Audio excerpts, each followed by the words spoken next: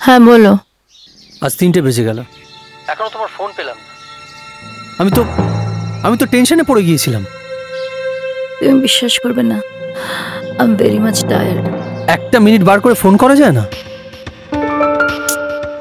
এনিবে তুমি এখন রেস্ট নাও পরে কথা হবে। আচ্ছা আমি কি করব বলো তো? আশ্চর্য। শোনো তুমি তুমি রেগে যেও না। আচ্ছা শোনো হ্যালো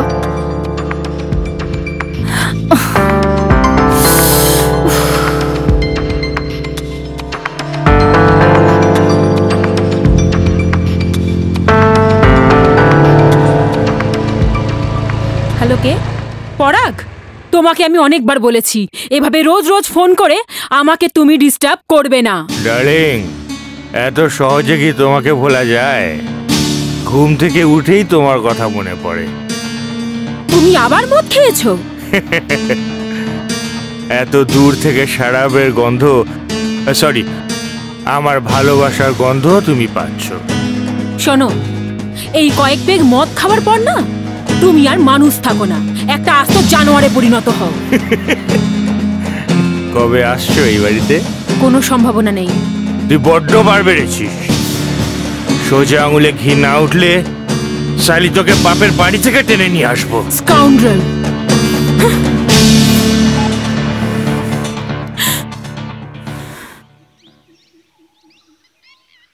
আমি একটা বিজনেস ট্যুরে মালয়েশিয়া যাচ্ছি।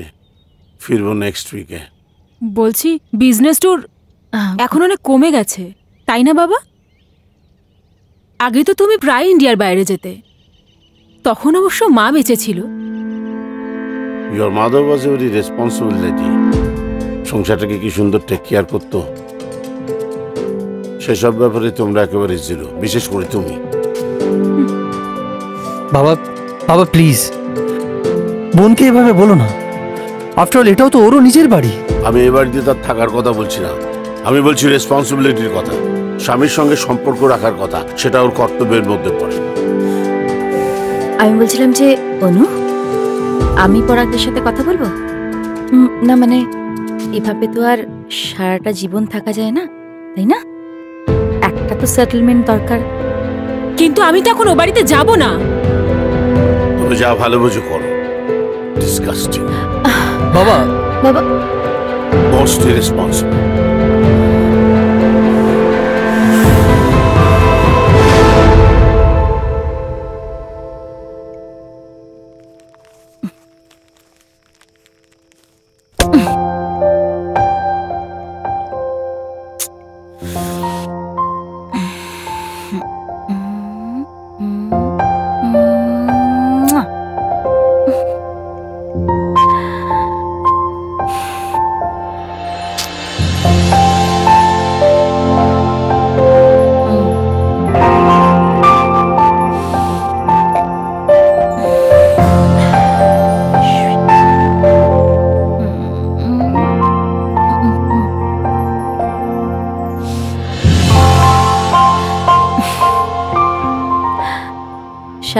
মোবাইলে কি খুটখুট করে বলো তো?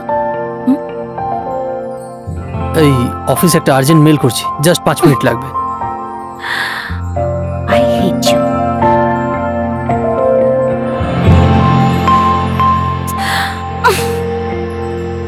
এই এই পরমা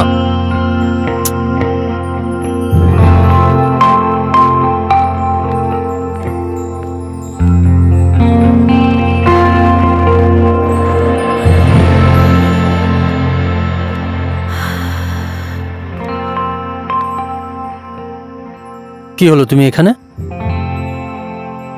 বোর হচ্ছিলাম তাই চলে এলাম। এমনিতেও তোমার কাছে আমার জন্য সময় কোথায়? শুধু ফোন ফোন আর ফোনে বিজি? শোনো তোমাকে দেখেই মনে হচ্ছে জানো? তুমি এখানে কারোর জন্য অপেক্ষা করছ।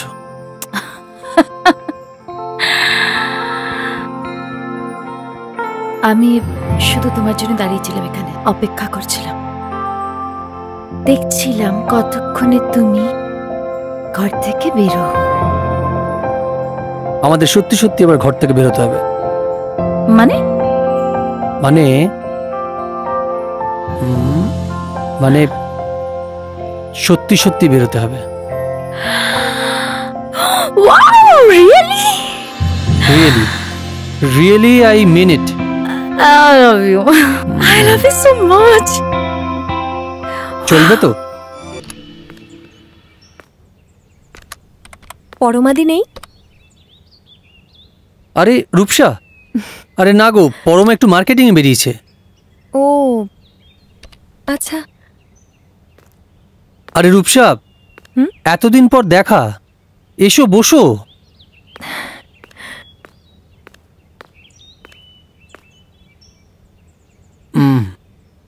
গৌরবের ঘরে গিয়েছিলাম। সেখানে দেখি সালমান আর শাহরুখকে নিয়ে সে তুমুল ঝগড়া। আমি তো সঙ্গে সঙ্গে পালিয়ে আসলাম। এই স্টারদের নিয়ে এত হই হই না আমার একদম পোষায় না। তারপর রূপসা পড়াশোনা কেমন চলছে? ভালোই চলছে। কম্পিটিটিভ এক্সামগুলো দিচ্ছি। দেখি একটা ভালো জব হয়ে গেলে ব্যাস নিশ্চিন্ত। বাহ ভেরি গুড ছোটবেলায় তো অঙ্কে খুব কাঁচা ছিলে। এখন অঙ্ক মিলছে। অঙ্ক আর কোথায় মিলল? অঙ্কে আমি বরাবরই কাঁচা।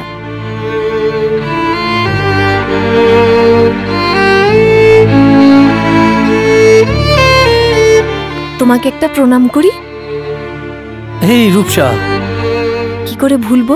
একদিন আমি তোমার ছাত্রী ছিলাম। আরে পাগল my best wishes always with you always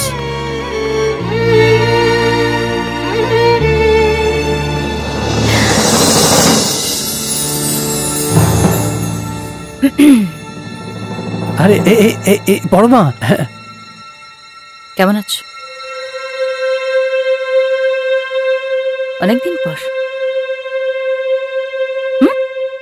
আমি এই ঘরে থাকলে তুমি তো এই ঘরের দিকেই আসো না। কেমন আছো?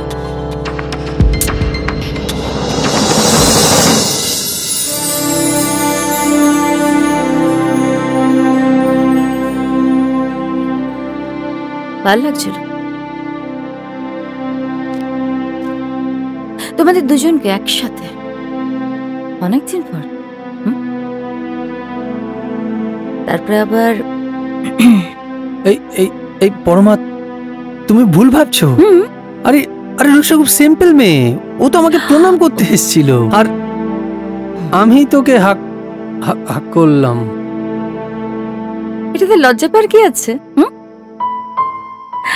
আহ, আমি কিন্তু মাইন্ড করিনি। আমি জানতাম। তুমি জানতে? এই তুমি মাইন্ড করনি। তুমি কি এটাও জানো যে হাগের পরে কি হয়? পরমা। কিস। এই! কি হয়?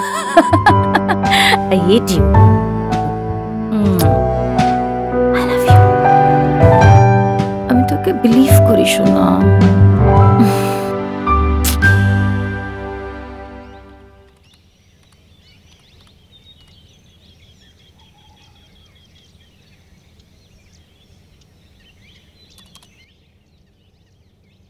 গত কদিন ধরে রাতে একদম ঘুম আসছে না।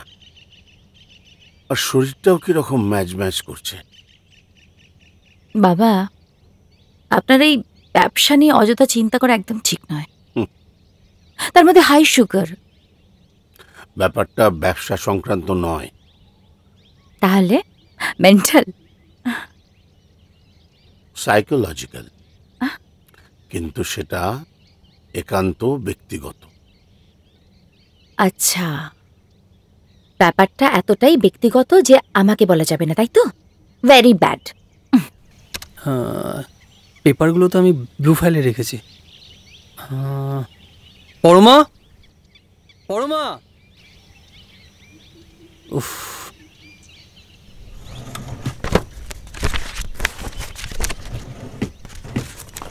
পরমা? সৌরভ ডাকছে তোমায়। যাও। কিন্তু আপনার ঠিক আছে। পরমা? ধুত্তেরি?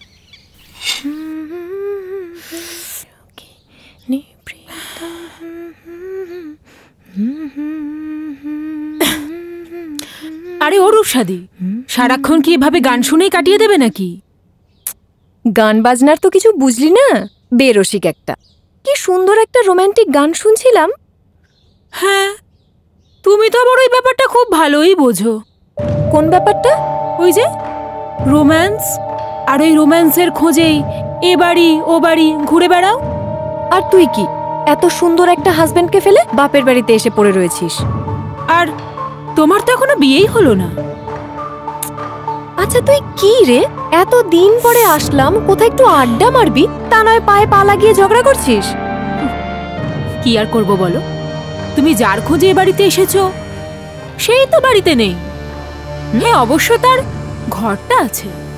যাও সেখানেই নয় কিছুক্ষণ চুপচাপ বসে থাকো।